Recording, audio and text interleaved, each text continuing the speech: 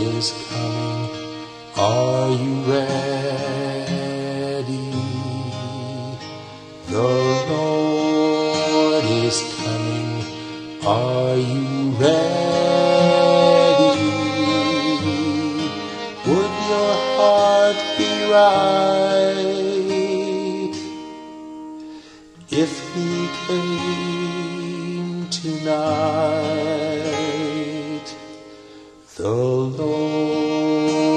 Is coming. Are you ready?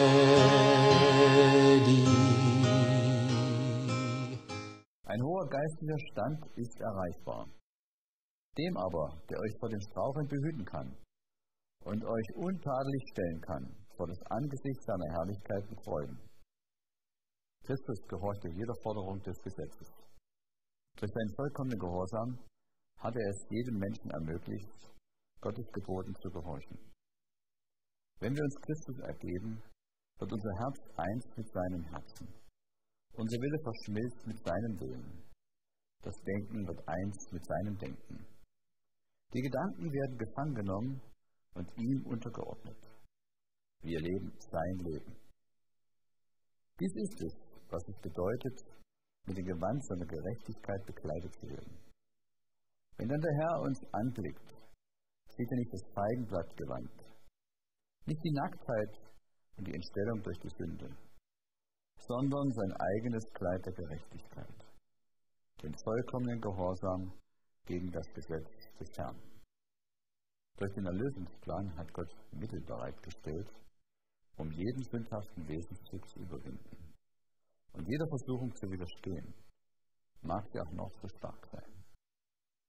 Auch die stärkste Versuchung entschuldigt die Sünde nicht. Wie groß der Druck auch sein mag, der auf die Seele ausgeübt wird. Die Gesetzesübertretung ist unsere eigene Tat. Keine Macht auf Erden oder der Hölle kann irgendjemanden zur Sünde zwingen.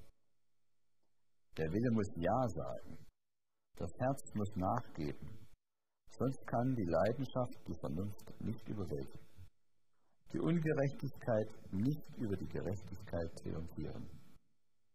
Wenn ihr euch unter das blutgetränkte Banner des Fürsten Immanuel stellt und ihm treulich dient, dann braucht ihr niemals der Versuchung nachzugeben, denn es steht euch einer zur Seite, der euch vor dem Straucheln bewahren kann.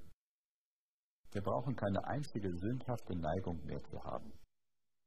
Indem wir am Wesen Gottes teilhaben, werden ererbte und gepflegte Neigungen zum Bösen vom Charakter weggeschnitten. Und wir werden zu einer lebendigen Kraft zur Förderung des Guten gemacht. Stets lernen wir vom göttlichen Lehrer. Täglich sind wir Teilhaber seines Wesens und arbeiten auf diese Weise bei der Überwindung der satanischen Versuchung mit Gott zusammen. Gott wirkt und der Mensch wirkt, damit der Mensch mit Christus eins werden möge wie Christus mit Gott eins ist. Dann sitzen wir mit Christus zusammen an himmlischen Orten.